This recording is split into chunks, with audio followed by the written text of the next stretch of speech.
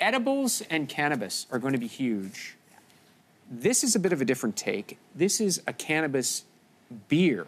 It's actually an Ontario brewery, a A Toronto company. Yes, instead now Shampoo and conditioner together. instead of alcohol, it's going to be a um, a cannabis infused beer. They say it's going to give you the buzz very quickly, unlike other cannabis. And they have worked on the taste, and they think they're onto something. And what's interesting too, beverage companies are moving in big time uh, in Canada Yeah. on this front. But this That's is a right. little different. A beer take.